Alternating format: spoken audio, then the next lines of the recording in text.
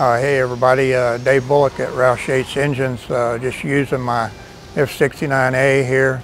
Uh, this machine is able to perform uh, almost every uh, function on a block machining programs, boring, decking, lifter bores, main bores, cam bore, everything that you need to machine on a block. This Rottler F69 can do.